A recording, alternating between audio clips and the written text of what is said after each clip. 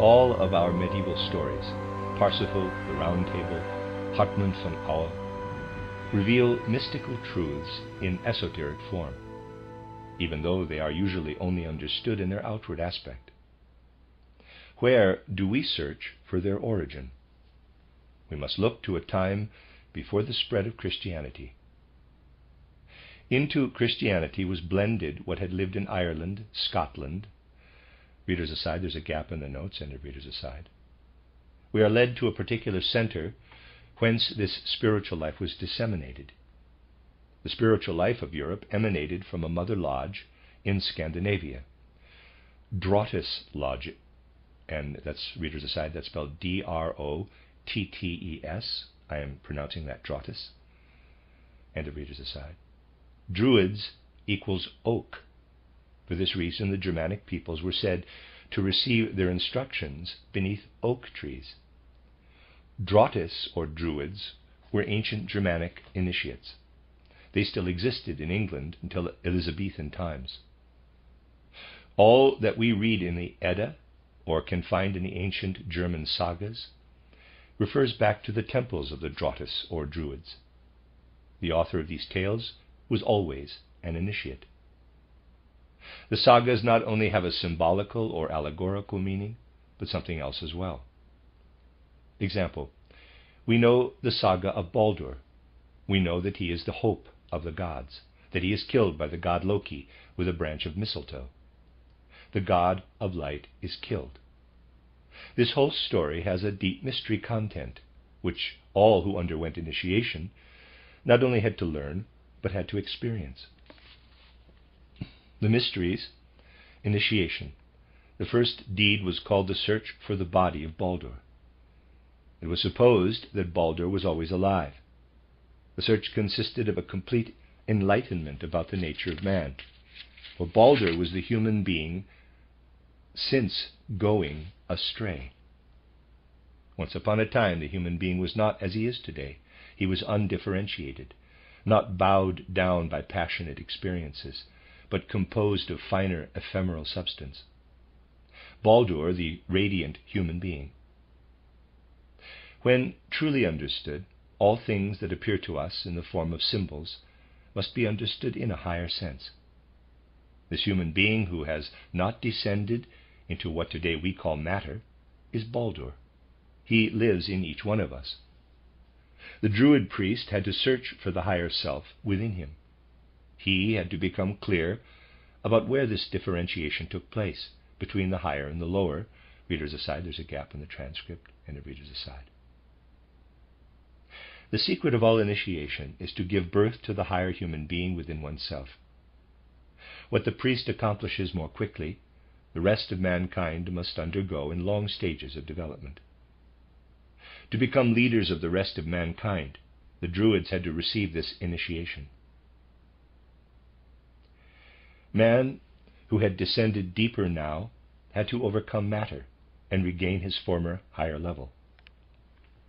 This birth of the higher human being takes place in all the mysteries in a similar sort of way. The man who had become submerged in matter had to be reawakened. One had to make a series of experiences, real experiences, which were unlike any sense experiences one can have on the physical plane.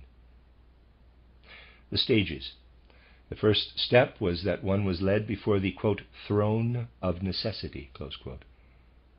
One stood in front of the abyss, really experienced through one's own body what lived in the lower kingdoms of nature. Man is both mineral and plant, but the man of today is unable to experience what is undergone by the elementary substances.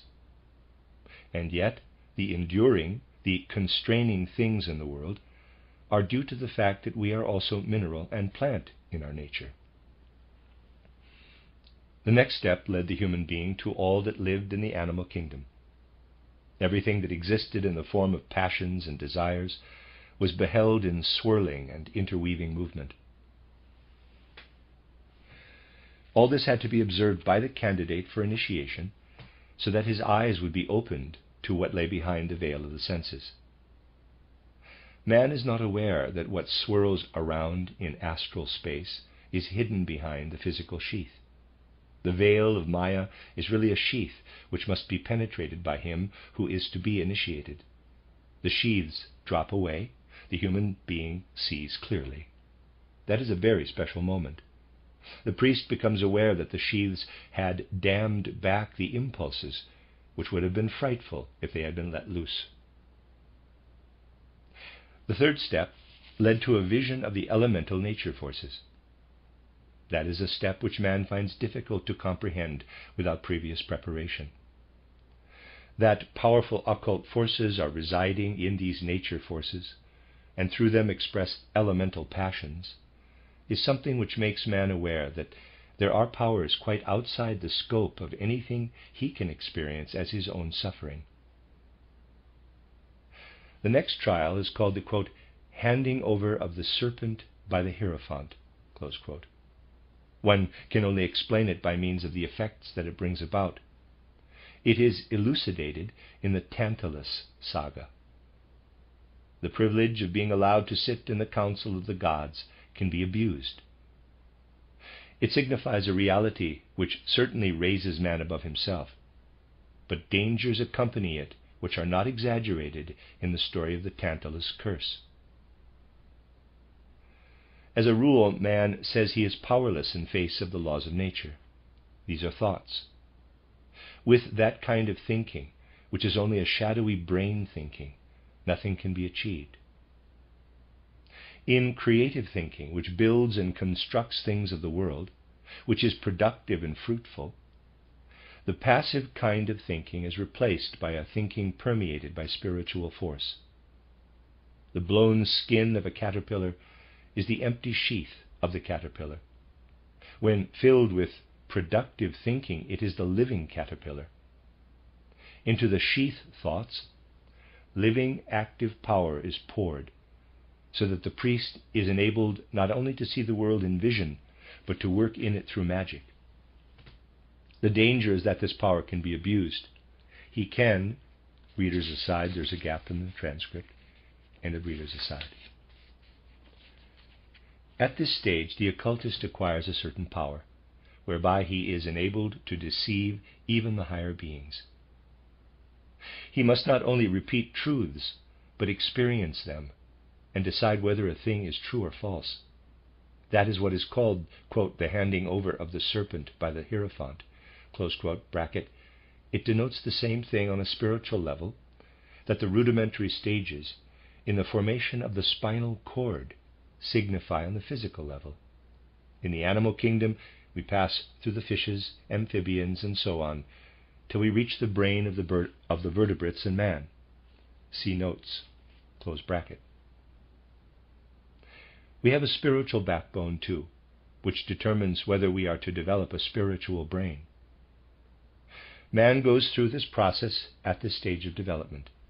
He is lifted out of kama, readers aside spelled K A M A, end of readers aside, parenthesis, feelings, passions, desires, close parenthesis, and endowed with a spiritual backbone, so that he can be raised up into the spiraling of the spiritual brain. On a spiritual level, the windings of the labyrinth are the same as the convolutions of the brain on the physical level. Man gains access to the labyrinth to the windings within the spiritual realm. Then he had to take the oath of silence. A naked sword was presented to him, and he was obliged to swear the most binding oath. This was that he would henceforth keep silent, keep silence about his experiences, where it concerned people who had not been initiated as he had. It is quite impossible to reveal the true content of these secrets without preparation. He, the initiate, however, could create these sagas so that they became the expression of the eternal. One who could give utterance to things in this way, of course, had great power over his fellow men. The creator of a saga of this kind imprinted something into the human spirit. What is thus spoken is then forgotten, and only the merest vestige of it survives death. Eternal truths remain longest after death of less elevated scientific thought hardly anything remains. The eternal does so and appears again in a new incarnation. The Druid priest spoke out of the higher plane. His words, though simple, being the expression of higher truths, sank into the souls of his hearers. He spoke to simple folk, but the truth sank into their souls, and something was incorporated into them which would be reborn in a new incarnation. At that time, men experienced the truth through fairy stories. Thus, today, our spirit bodies have been prepared, and we are able to grasp higher truths today. And if we are able to grasp higher truths today, it is because we have been prepared. Thus, this time, which came to an end in AD 60, had prepared the spiritual life of Europe, had provided the soil on which Christianity could build. These teachings have been preserved, and whoever searches will be able to find access to what was taught in these lodges. After he, the Druid, had given his oath on the sword, he had to drink a certain draught, and this he did from a human skull. The meaning of this was that he had transcended what was human. That was the feeling which the Druid priest had to develop concerning his lower bodily nature. He had to look upon all that lived within his body with the same objective, cool attitude as he felt toward a containing vessel. Then he was initiated into the higher secrets and shown the path to the higher worlds. Baldur, and there's a gap in the transcript. He was led into an immense palace which was roofed by flashing shields. He encountered a man who cast forth seven flowers. Cosmic space, cherubim, demiurge, bracket, maker of the world, close bracket. Thus he became truly a priest of the sun. Many people read the Edda and are unaware that it is an account of what really took place in the ancient Drottes mysteries. An immense power lay at the disposal of the ancient Drottes priests, a power over life and death. It is true that everything becomes corrupt in time. It was once the highest, the holiest of things. At the time when Christianity was spreading, much had degenerated, and there were many black magicians, so that Christianity came as a redemption. The study of these old truths alone is able to give an almost complete survey of the whole of occultism. Unlike our present practice, not one stone was laid upon another in the building of a Druid temple without the use of exact astronomical measurement. Doorways were built according to astronomical measurement. The Druid priests were the builders of humanity. A faint reflection of this is preserved today in the views of the Freemasons that the Freemasons hold. Learning to penetrate astral substance, viewing the sun at midnight, first initiation. Handing over of the serpent by the Hierophant, second initiation. The journey into the labyrinth, third initiation